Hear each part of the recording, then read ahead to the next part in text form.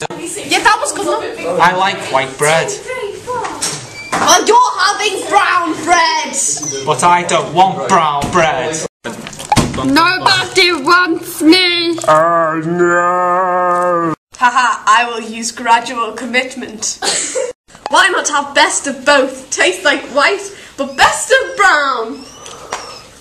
Tasty. He loves me. Oh yes!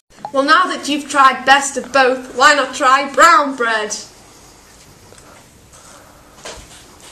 I'm so glad you used gradual commitment, Mum. He loves me. Oh yes! I love the white bread, Bum bum bum bum. but I was bum wrong. Gradual commitment told me otherwise. Bum bum And brown bread gave me a surprise.